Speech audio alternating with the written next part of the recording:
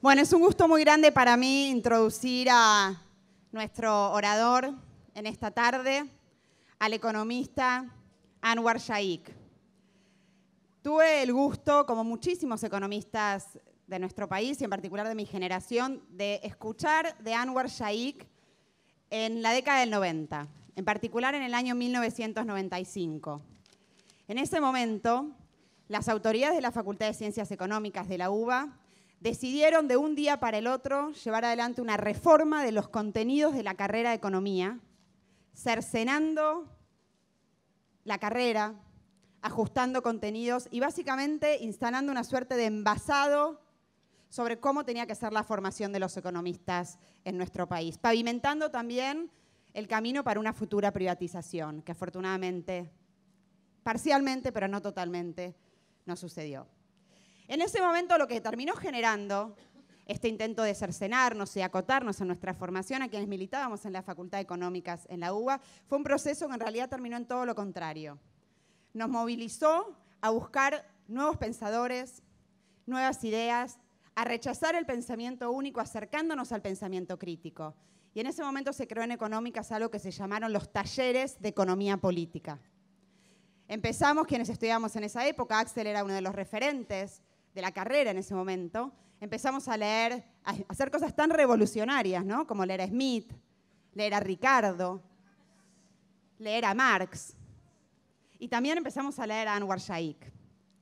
En particular me acuerdo pensando para esta sesión que el libro de Anwar de 1990, Valor, Acumulación y Crisis, Ensayos de Economía Política, era casi una referencia obligada para quienes queríamos salir de los corsets que nos estaba dando la formación ortodoxa, mainstream, de economía en la UBA, y empezar a expandir nuestras fronteras del conocimiento. Y discutimos muchísimo a Shaik. Y además encontramos en Shaik una suerte de, de respiro intelectual, ¿no? un oasis en el cual encontrar una crítica estaba puesta en términos teóricos y que se correspondía con lo que cada uno de nosotros vivía y sentía todos los días en las aulas, en plena década del 90, resistiendo el neoliberalismo en la Universidad de Buenos Aires.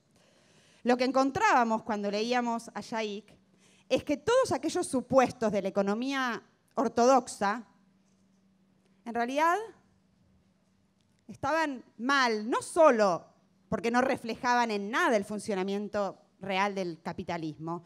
O sea, la competencia no solo no era perfecta, como decían los manuales de economía, sino que tampoco los, supuestos de competencia perfecta, de homo economicus, de mercados que se equilibraban, en realidad aportaban ninguna claridad para comprender el funcionamiento del capitalismo. O sea, los supuestos eran equivocados y también las conclusiones a las cuales nos llevaban esos modelos eran absolutamente equivocados. Y lo que encontramos en Shaik es una crítica muy fuerte a esa síntesis neoclásica keynesiana con la cual nos fuimos educando generaciones de economistas y lamentablemente todavía se educan hoy en Argentina y en el mundo muchísimos economistas.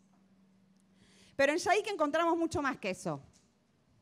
Encontramos una teoría económica alternativa o sea, Shaik, y creo que la gran genialidad y el valor de su aporte es que no solo hace una crítica contundente, de fondo, a la teoría económica neoclásica, sino que lo que él nos va a compartir hoy es parte de una visión alternativa, teóricamente muy sólida, de cómo funciona la sociedad capitalista. Y es una labor ambiciosa, es una labor enorme.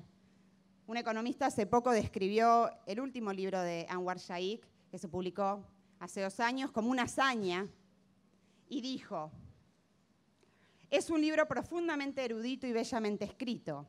Es a la vez una impresionante renovación de la economía clásica y keynesiana y una implacable demolición de los sofismas. Un libro para saborear y enseñar. No ha tenido uno igual durante 150 años. Esto es lo que lo transformó a, a Shaikh en un gran referente del pensamiento heterodoxo, porque nos dio las herramientas para criticar con seriedad, con contundencia, las bases de la teoría económica neoclásica, del neoliberalismo, pero también nos ofrece una teoría alternativa. Shaikh no nos habla además de una teoría que cambia en el margen. Él no reemplaza el concepto de competencia perfecta por un concepto de competencia imperfecta. Él habla de la competencia en términos reales, de la competencia real. O sea, desarrolla una nueva categoría de conceptos sobre la inflación, sobre el tipo de cambio. Y además Shaik incorpora dos conceptos que se mencionaron mucho en el, en el, panel anterior y que para nosotros como jóvenes economistas fueron y siguen siendo fundamental. Ustedes saben que la teoría económica mainstream prácticamente no habla de la crisis, porque entiende que la economía básicamente funciona en el equilibrio, que los mercados se autorregulan, se autoequilibran y que las crisis son más bien la excepción. Nosotros como latinoamericanos sabemos que la crisis puede ser mucho más que la excepción. que incorporó la crisis, incorporó el concepto de teoría eh, de, explotación y de ganancia, incorporó y nos mostró y nos muestra que la lucha de clases tiene que estar imbrincada, inserta en la discusión económica. Algunos años después, fue muy lindo reencontrarnos con Shaik, cuando nos abrió a muchos economistas argentinos las puertas de la New School for Social Research, donde él desarrolla sus investigaciones en el corazón de Nueva York, para compartir nuestras ideas, para presentar nuestra particular visión, por ejemplo, sobre lo que pasaba en Argentina con la batalla con los fondos buitre. Axel Kicillof, yo, la presidenta misma, estuvo en la New School for Social Research, Cristina, muchísimos economistas encontramos en esa institución un espacio para compartir una visión alternativa desde el sur, latinoamericana y heterodoxa. Y además Anwar, descubrimos, es un gran conocedor de Argentina y de Sudamérica, no porque él estudie específicamente las economías periféricas, porque no es específicamente su área de estudio, pero está casado con una chilena, ha venido muchísimo a Argentina, tiene muchos discípulos argentinos, con lo cual fue un gran acompañante de los procesos de redistribución, de búsqueda de soluciones en políticas públicas alternativas que lleva adelante nuestro país hasta, hasta fines del 2015. Con todo esto, voy a tener el enorme gusto de dejarle este podio a Anwar Shahi, que él va a hacer una presentación de unos 20-25 minutos. Después vamos a tener la posibilidad de dialogar con él, hacerle algunas preguntas y les cuento entonces que el título de su presentación, ambicioso por cierto, es Una mirada crítica sobre la hegemonía intelectual del neoliberalismo. Muchísimas gracias.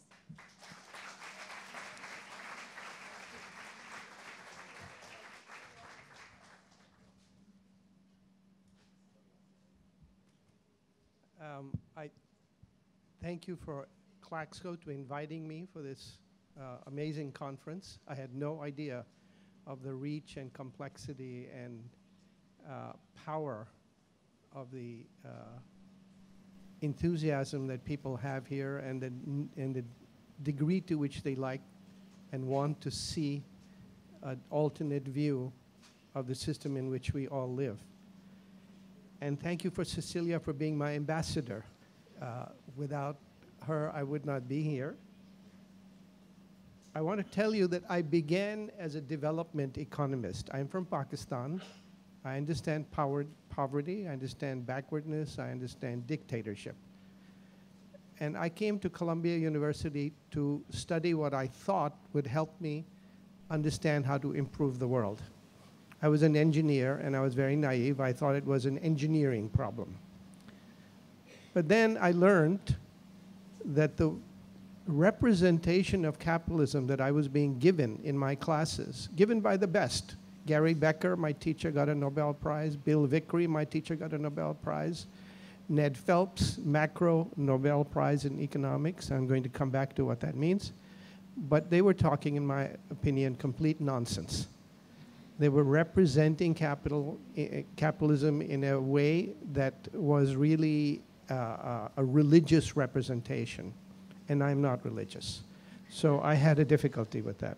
So I began to study anthropology, which at least talked about how real societies worked. Uh, and then I was told, uh, then I was in the building occupation in Columbia in 1968. Uh, that was a time when other people were also doing similar things Mexico, Paris, we were a generation that thought we could change the world, and we did change the world somewhat, but not as much as we thought. Um, and I was then uh, encountering the work, works about Marx, and people told me, well, don't read Marx by yourself. It's really dangerous. And they're right, my head exploded. and ever since, Marx's ideas have been an important part of my thinking. Uh, I mentioned this morning that the difficulty with Marx is not only was a genius in many, many fields, and many people cannot, most of us cannot follow him in all these fields, but he did not finish his damn work. He worked for 40 years in what has been called his beloved economics. He was going to write six books, not volumes, six books. And the first book was going to be four volumes, and he finished one. And the, and the consequence of that is what's left behind of Marx for economics is not adequate. Not because he didn't have the adequate foundation, but because he left only clues. It's a mystery story. I love mystery stories because in the end everything works out nicely, which I like a lot. But if you come with Marx, there's no end. It's a mystery story with quotes here and quotes there. And I set myself a task of reading the um, classical economists, Smith, Ricardo, Marx, and of course Keynes. Everybody read Keynes in those days. Um, to try to understand, is there buried here in this tradition a framework that could explain modern society, modern capitalist society? I'm very much interested in the history of thought, but my interest was not about the history of thought. My interest was to be able to understand how capitalism works. And for many years, I've taught courses on that. I've encouraged people to, to do the same thing. And when we look at the present state of the world, the question that was posed for this conference, uh, trade wars, the rise of neo-fascism, inequality, financial bubble perhaps about to burst again, and the future of work with robotization. How do we analyze that? to analyze that, in my opinion, you need to understand how capitalism works. And I'm going to try to lay out in a very general form what I think are the central principles. Um, uh, I think it was mentioned, I have a book. Everybody has a book. Uh, it's called Capitalism, um, Conflict, uh, uh Competition, Conflict, and Crises.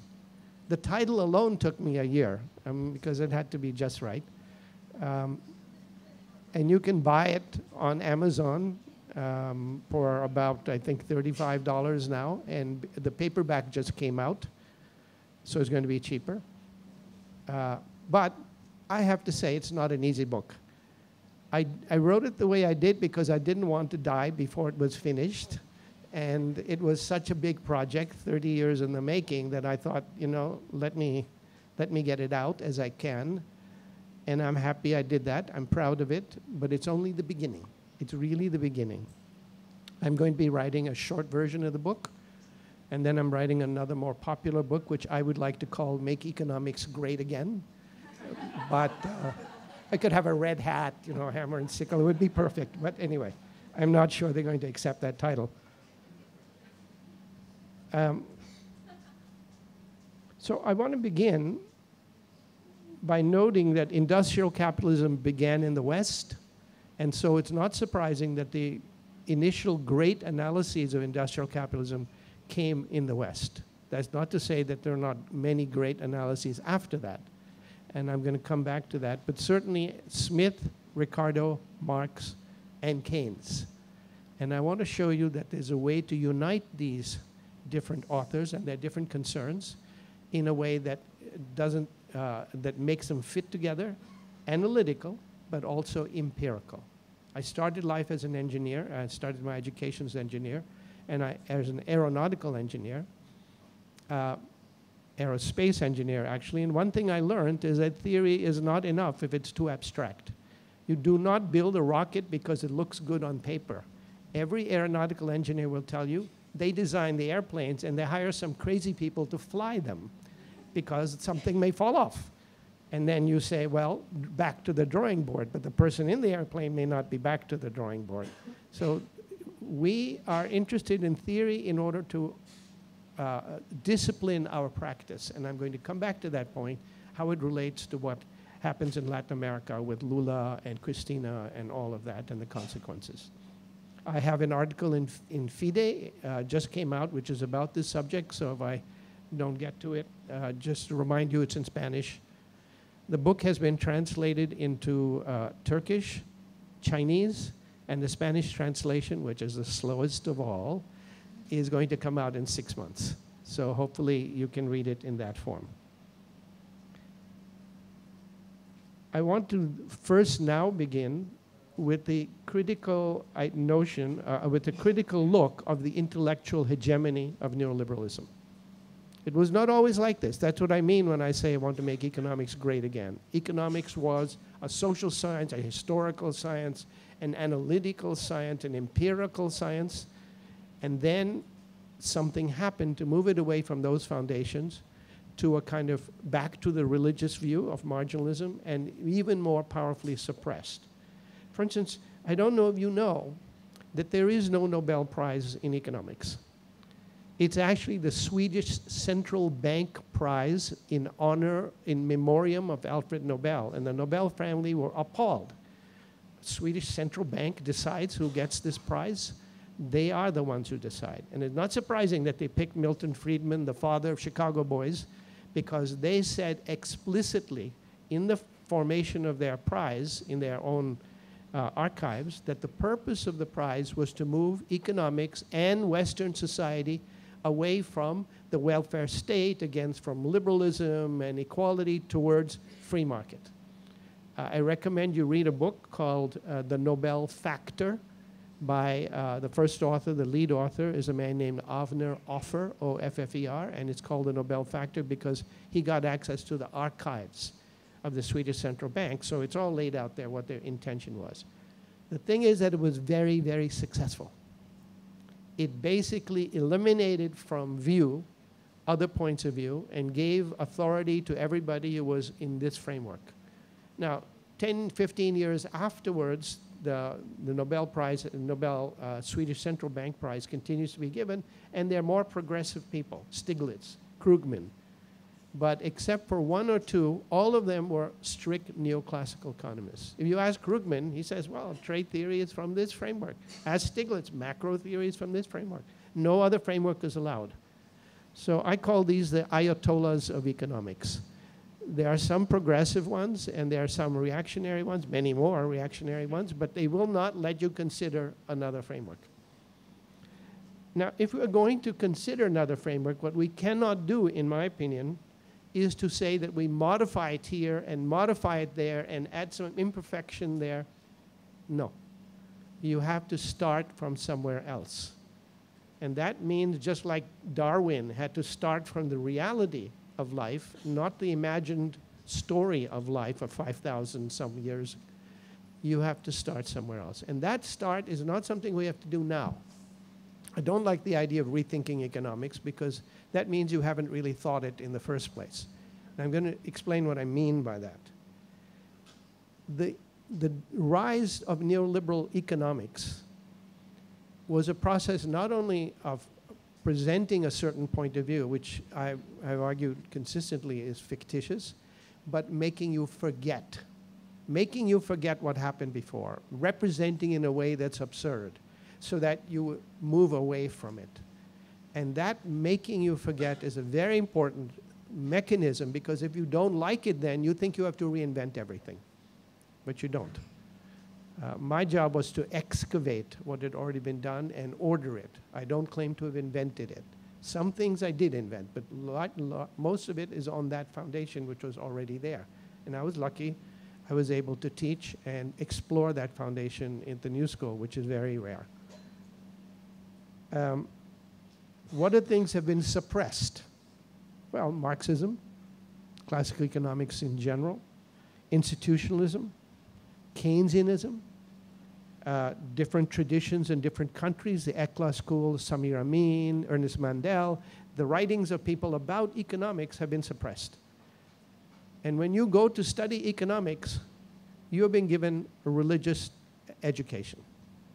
And you will not escape it by complaining about one aspect of it or not. You will not escape the church by saying that Eve was a feminist. Yeah, she was a feminist, but actually she was a fiction. She was not there.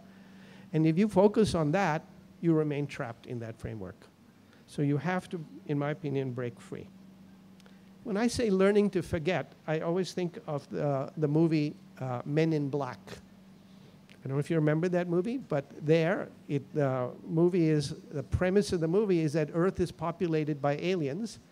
Mostly they were protected from seeing that, but sometimes we see the truth. And what they do is they raise this pen, which is called a neuralizer. They press a button, there's a flash, and you forget.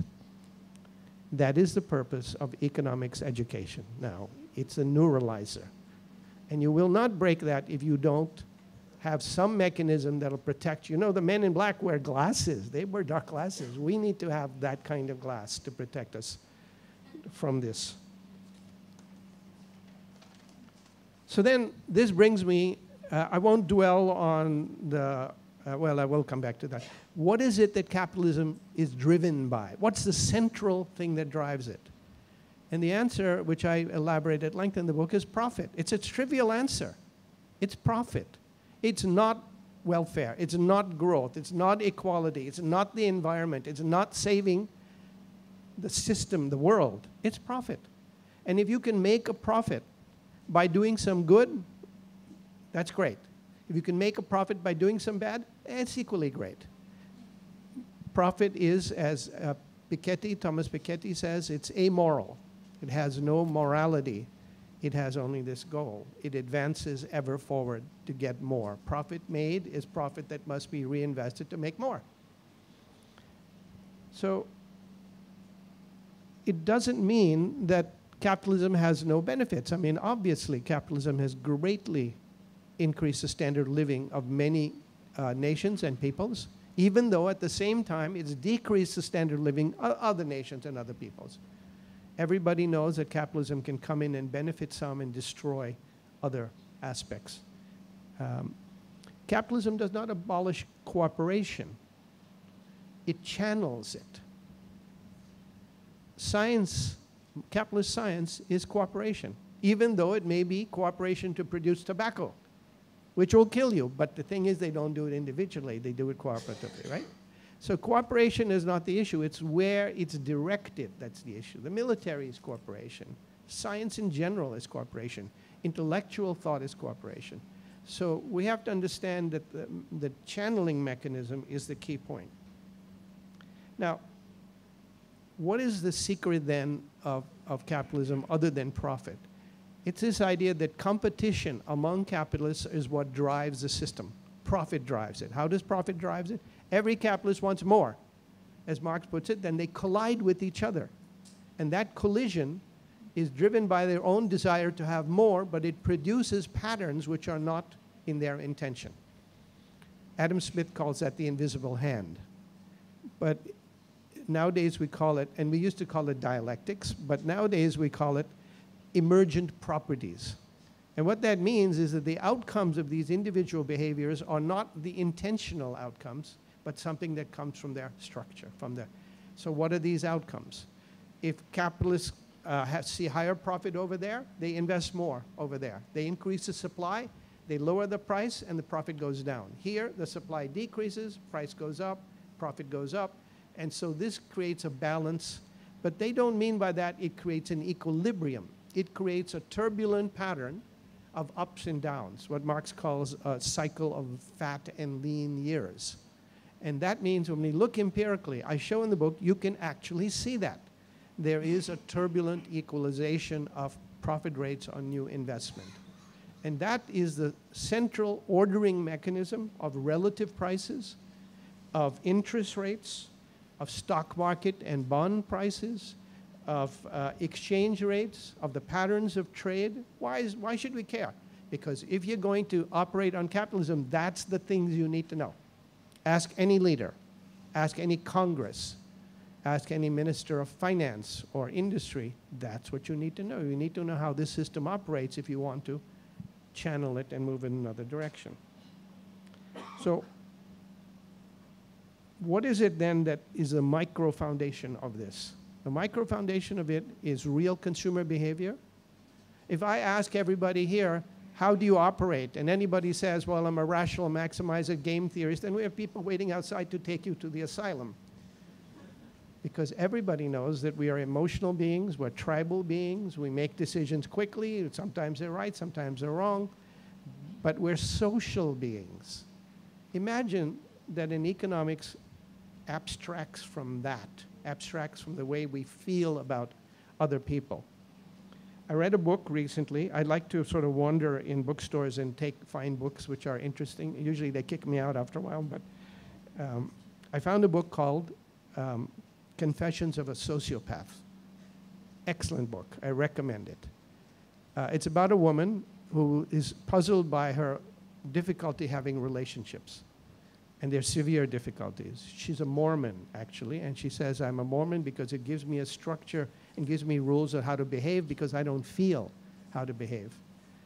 And she goes to a psychiatrist and he says, Madame, you're a sociopath. What he means by that is not that she's violent or, or mean necessarily, but that she doesn't experience any empathy or feeling for other people or other things.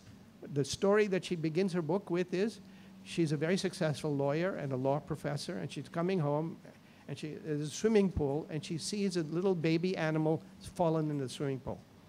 That's the opening pages of her book. And she watches it, it's drowning.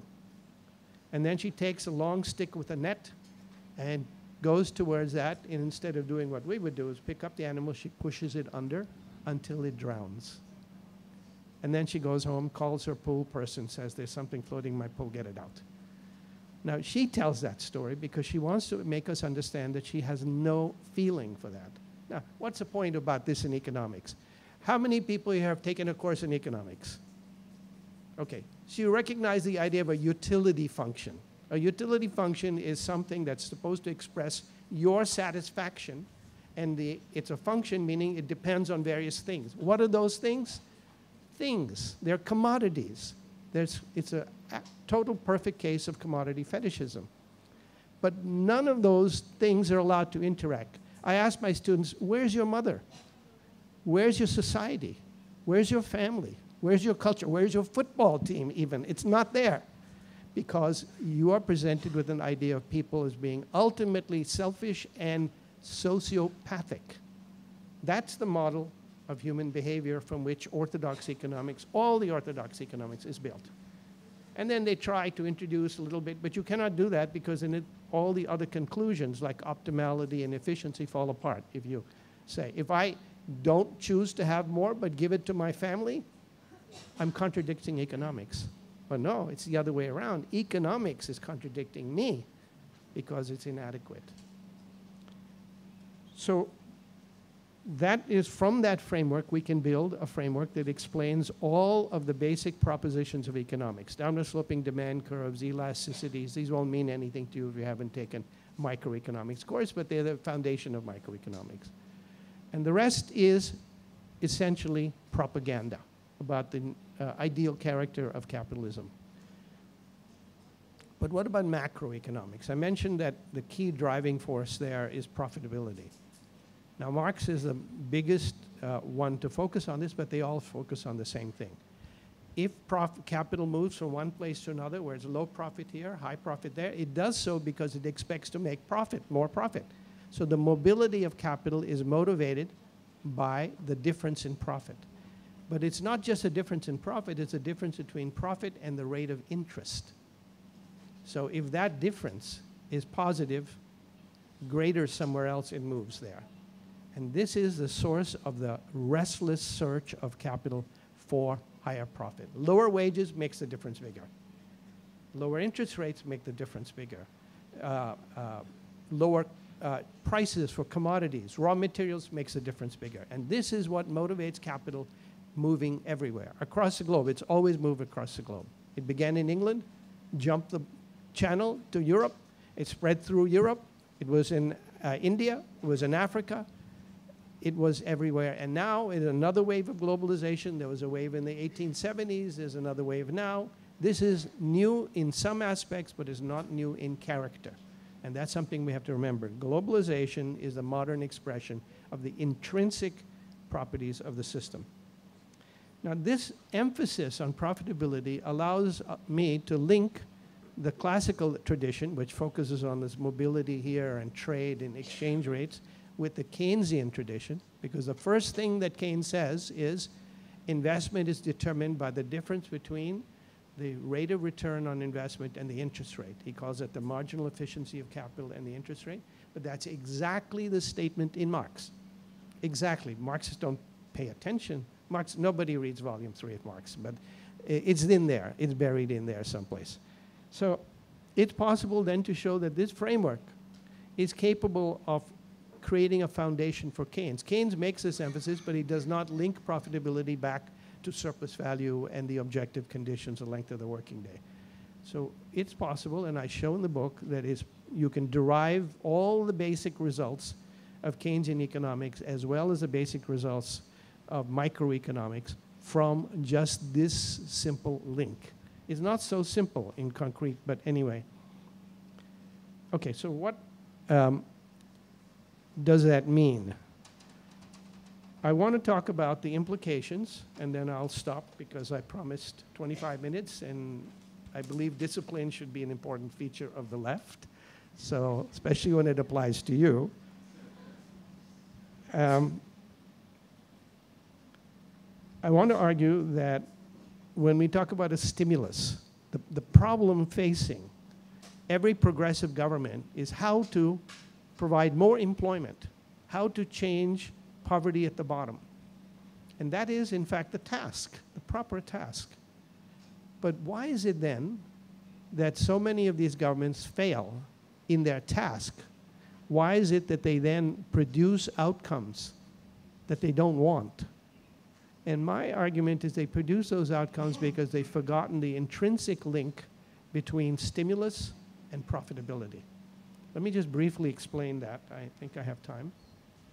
In the 1930s, Hitler was faced with a country with such massive unemployment and such massive anger against the results, uh, the, the penalties after World War I, and the just misery that the German people were suffering, that he was able to rise to power.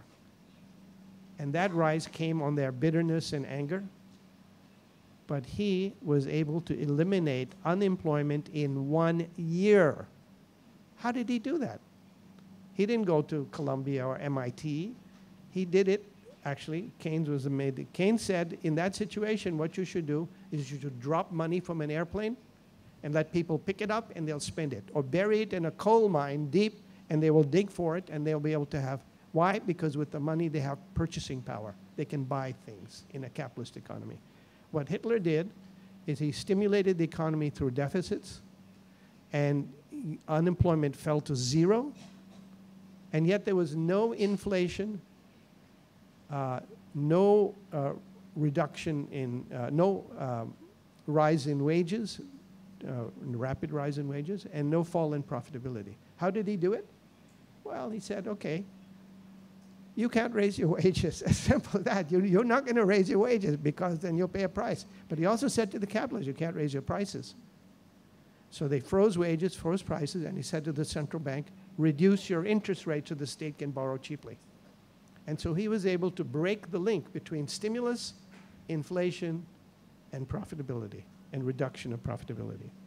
In World War II, Roosevelt did exactly the same thing once the war started. Stimulus, deficits that were the highest ever seen in the advanced world, uh, but wages were frozen because it was unpatriotic to raise your wages in the war effort. Prices were frozen also. That was called price gouging or profiteering, war profiteering. If you take advantage of a shortage by raising your price, you couldn't do it. And the central bank was asked to lower its interest rate. So after the end of World War II, everybody said, we are Keynesians now. Even Nixon said, we are Keynesians now. And what they meant is that they discovered the secret, which is that you can pump deficits and new money, credit, uh, into the economy and you reduce unemployment. But this time it didn't work. It worked at first. They pumped up the economy through deficits, unemployment went down, and then it started creeping up. So they put more pumping. It went down again, then started creeping up. It's like cocaine, I've been told. So they kept doing more, and the results were less. eventually they were getting very low growth and high inflation, and that was called stagflation. And that failure of Keynesian economics is what allowed the right wing to come back, what allowed neoliberalism to come back. Because objectively, the economy got worse. The working class shifted away from the idea of the welfare state and Keynesianism, saying, well, look, we're losing, we're uh, losing our jobs, we're suffering inflation. And so they shifted to Reagan, who promised them, and Thatcher in England promised them a better deal. And you know what? They got it. They got it because those people lowered the wages in real terms. They increased the profit rates, so growth were increased, unemployment went down, and they gave them what they promised. And that is a lesson that Keynesians could not understand because they missed the link between the stimulus and the possible negative impact on profitability. I'm going to come back to that just at the very end. So what does that tell us? It tells us that stimulus, uh, redistribution of income, all of which are things I support. I absolutely think there are things that need to be done. But capitalism has its own mechanisms of reaction. And that mechan- those mechanisms require wages to not rise faster than productivity. So, what does that mean? One solution is to repress wages so that they stay below productivity. The other solution, which I call the Swedish solution, is to enhance productivity so that wages can rise also and so that you keep within the limits. Because if you go faster than productivity and real wages, the wage share rises, the rate of surplus value falls, and the profit rate falls. And that fall, at some point, will feed back on the system. Not because there are capitalists sitting in a room somewhere going, we're going to on capitalist strike or we're plotting against it. They do that anyway that's because something objective is happening. And that objective effect is, uh, has its effects on the working class. They're the ones who lose their jobs. They're the ones who have inflation. They're the ones who suffer when the economy collapses, and they turn to the right because we have shown them that we cannot serve them, as it, which is our task. Um, this solution has strong limits, and perhaps I can talk about that else in, uh, in the question but it is possible. It may be slower. It is possible if we understand that there are two sides to that equation, not just one. Um, let me end by saying that um, global employment is something that expresses another tendency of capitalism, or more malign tendency, which is that productivity growth and mechanization replaces workers. Uh, sometimes it's, it's, inspired by a lack of workers. Uh, they were mentioning in California now because the immigrants have been blocked from coming thanks to ever-wise Trump. They don't have uh, migrant workers, so they're now getting robotic pickers of, uh, of uh, fruits and agricultural products because the shortage of labor makes it profitable to use these robotics. Where they were not profitable before because the labor was cheap. When the labor becomes scarce and expensive, it is profitable. So capitalism finds its way around these obstacles. The difficulty is on a global scale that also leads to a real problem of employment. We often talk about the reserve army of labor in Marx's description, but that is never meant to be a, in a country. It's meant to be wherever capital can go. And that is now the rest of the world. Almost every country capital can go to whether it's American capital or Chinese capital or British capital or Japanese capital, it has access to these resources and to labor. And that may harm the US. It may harm Europe. But it will not harm US profits. It will not harm European profits because the object is not to benefit the world or the, or the country. The object is to make profit. And so I often think that if you want to understand how capitalism works, read, go watch The Godfather again, because that's how it works. And we have to understand that if we're going to proceed. We can proceed, we can uh, intervene, but not if we misunderstand what the purpose is. Thank you.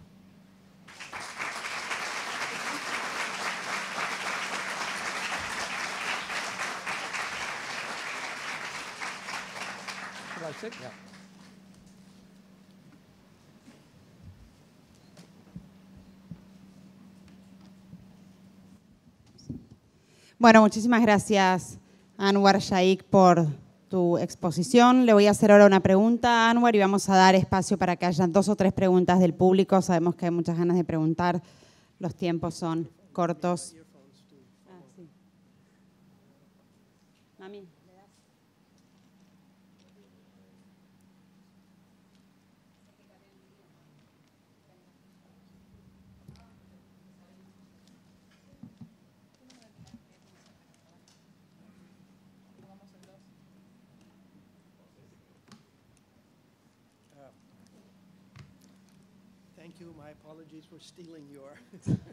Fue mi mamá que nos donó su eh, auricular. Gracias.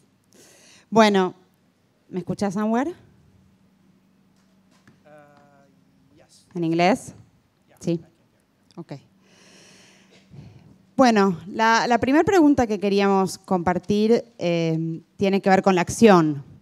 El foro que planteamos para hoy, lo decíamos esta mañana en la apertura, se propone comprender este mundo en disputa. It was okay before. Three, I think.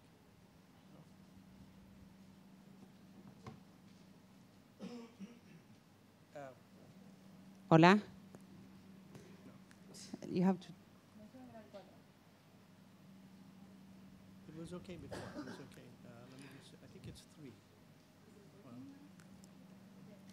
El mundo que buscamos hoy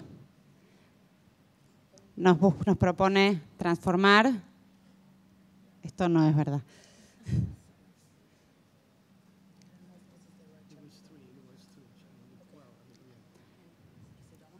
Anwar, ¿me estás escuchando la traducción correctamente?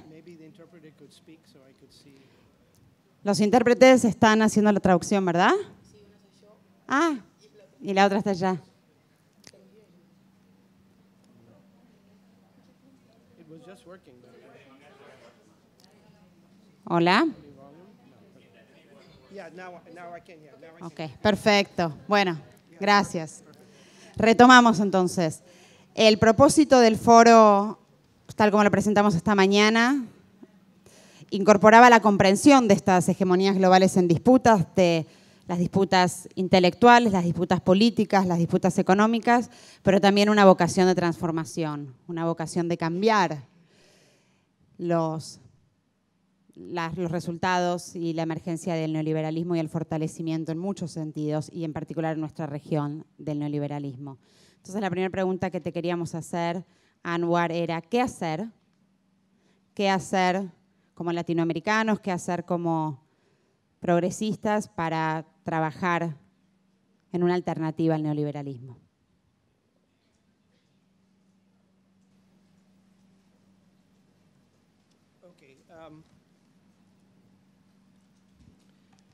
I, I'm an economist, and so I strongly believe that economics has a power. And so the first thing is to take back in the education of economics the ground that was lost, the ground that we were forced to forget.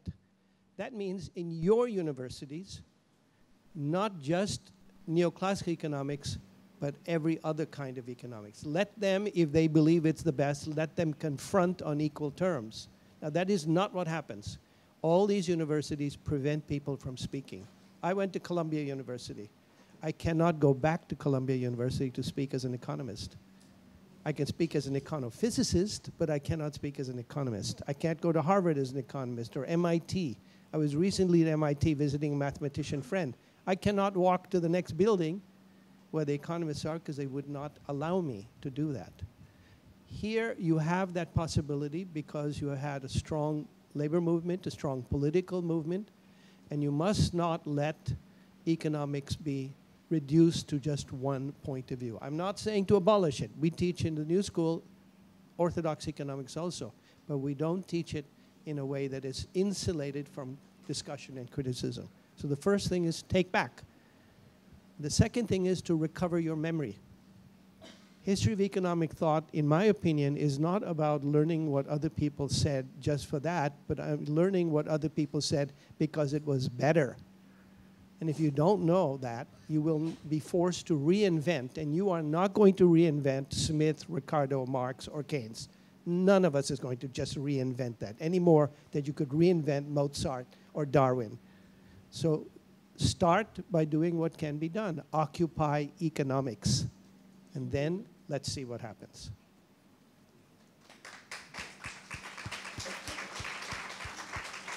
There's a second aspect to that.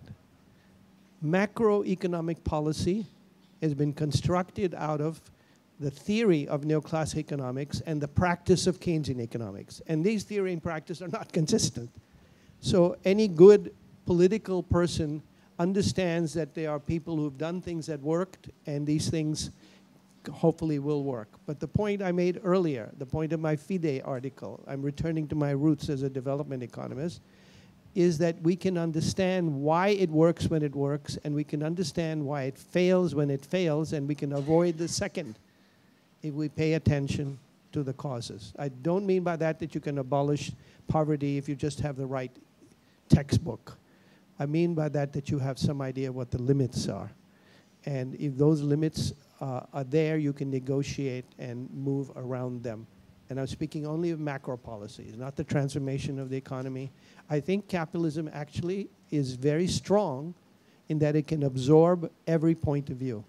It can, in my opinion, absorb feminism. It can absorb the civil rights movement. It can absorb the gay rights movement.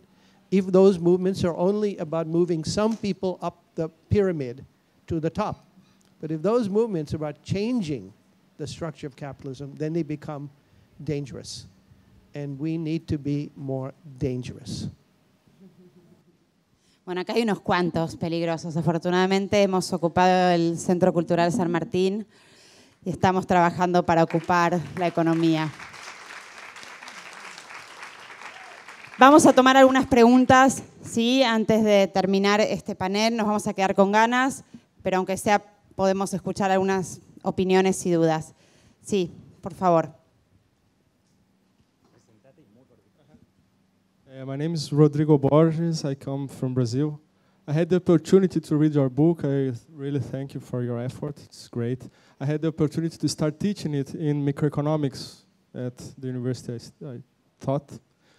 And one thing that I didn't find in your book that kept me thinking is about uh, how Hitler broke the links with some repressions uh, at, and aside of monetary credit side and the uh, wage side.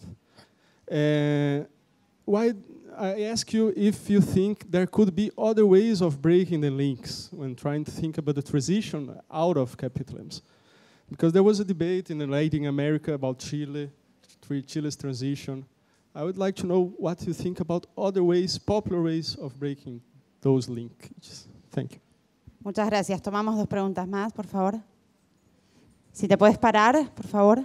Hola, soy Víctor Orellana de Chile del Frente Amplio. Quiero hacer dos preguntas bien breves, en inglés o en español, en español mejor. Eh, primera pregunta, ¿qué opina de em, profesor Chaik, de quienes ha sostenido que la forma del valor de, em, como usted lo plantea en sus trabajos, que es la manera en que los valores de uso y los procesos concretos se hacen, se transforman en una totalidad social y se, y se presentan como totalidad de trabajo, si esa forma, como Marx la estudiaba, que cada vez era más compleja en el, en el libro 1, 2 y 3, que va- se, se va volviendo más compleja, estamos ante un momento en que esa forma sea anacrónica, como han sostenido otros eh, investigadores, o no. Y segunda pregunta, eh, ¿cómo nos ayudaría a imaginar los procesos de desmercantilización? Porque una cosa es cómo nosotros intervenimos sobre el capitalismo y otra que es particularmente importante en mi país, en Chile, que las fuerzas sociales nos hemos propuesto y populares nos hemos propuesto sacar el capitalismo de algunos espacios de los derechos sociales donde lo instaló el neoliberalismo. ¿Es eso posible o nos debemos contestar solo con una como conducción y canalización consciente de las formas capitalistas de transformar cada carrera, cada universidad en la totalidad del valor, que es, que es la manera que el capital lo hace? Eso. Bueno, muchas gracias. Y una última pregunta acá. Una mujer tenemos. Dale, vamos. Hola, gracias. sí, de la Universidad Nacional de Córdoba. Quería preguntarle al profesor porque del escenario que él planteó y de acuerdo a lo que los compañeros preguntaron nos quedamos, o al menos yo, el mensaje cuál es frente a la crisis, digamos, frente a la crisis particular que estamos viviendo en general en el capitalismo, pero en los países periféricos y frente a un escenario de cambio, esperemos. Eh, de acuerdo a lo que comentaba el profesor, quiero decir esto con cautela, era como que el escenario viene a ser como un congelamiento general, ¿no? Para poder salir de la crisis. Digamos, esta paridad entre una competitividad y los precios y los salarios, eh, la pregunta, digamos, lo, que entendí era justamente congelar todo para, poder dar ese empuje para salir de una crisis, ¿no? Eso nos plantea un escenario en los países periféricos un poco complejo. ¿Cómo entran en esto que está planteando el profesor la posibilidad de lograr algunos consensos, algunos acuerdos entre capital y trabajo en términos económicos para poder eh, pensar más allá de un congelamiento quizás? No sé. Bueno, gracias. Anwar.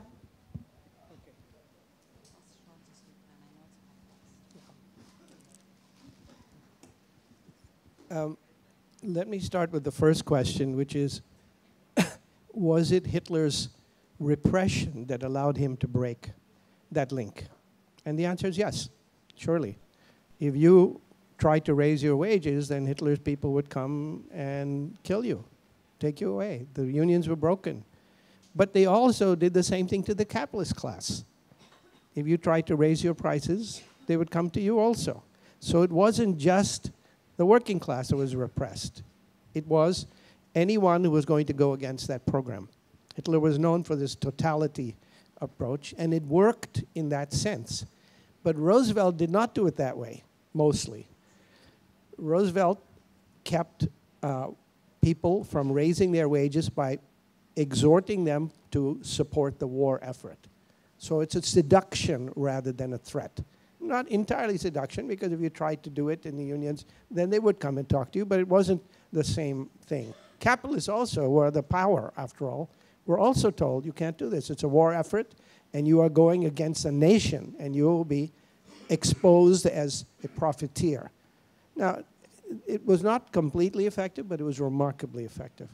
And the central bank was in control, was controlled by the state in both of those instances, and they lowered it. So then the question arises, can we escape that limit for some length of time by what the Keynesians used to call incomes policy, which is keeping incomes in line with productivity or lower, but also stimulating productivity. If you were in a war, people would do it. You can say to people, well, some people at the top may have their wages lower and some people at the bottom higher. We can do it post tax. I haven't discussed the uh, story, uh, the empirical treatment of inequality. But let me tell you a story about the research that I did with a group of students. I couldn't have done what I did without the students because they work with me, they teach me, they disagree with me, and it's through that process that we learn, I learn. So we started a project to ask what the welfare state did. Many people believe that the welfare state was very successful in taking income from the working from the capitalist class to the working class through taxation, and then at some point the welfare state ceased to work because the capitalist class turned against it. But that's not true.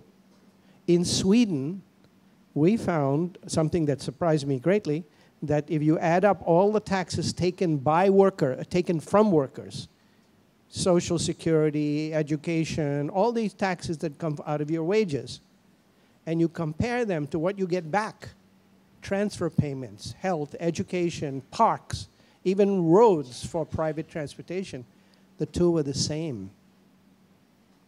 And where they varied across countries, they seldom varied by more than 3 or 4%. Um, I have an article on my homepage. All my articles on my homepage are there. That's strictly speaking illegal, so don't tell publishers. But I put them on as soon as they're published. And this one is called Who Pays for the Welfare State? Now, why do I bring that up? Because the left seems to think that the welfare state was a burden on capitalism. It was not a burden on capitalism. It was not a burden on the working class either, because it gave them in return largely for what they took, uh, what they paid. The difference is that in Sweden, workers understood that they were getting it back. In the US, they thought it was money going to the poor and the immigrants and black people, and they were encouraged to think that way. So they began to oppose it.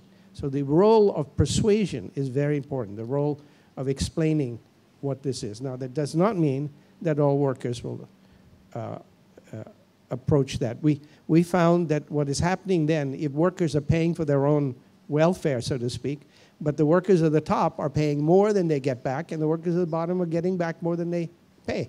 If the political movement cannot persuade them to do that, then um, um, I can't read your handwriting. Oh, yeah, okay, sorry. That's okay. So if the political movement cannot persuade them to do this, then they will break away. The ones at the top will break away. And many people at the top don't think of themselves as working class. But Sweden did it, so it's not impossible. France did it, and it's not impossible. And we need to be able to understand how to do the political work to make it plausible. And one way is to make it transparent. Explain to them where the money is going and where it's coming back, rather than to hide it in a budget and talks of economists and so on. It's possible. I believe, I'm a teacher. I believe in persuasion. Otherwise, I have no tool whatsoever. Bueno, muchísimas gracias, Anwar. Vamos a cerrar aquí esta conferencia con un aplauso, por favor.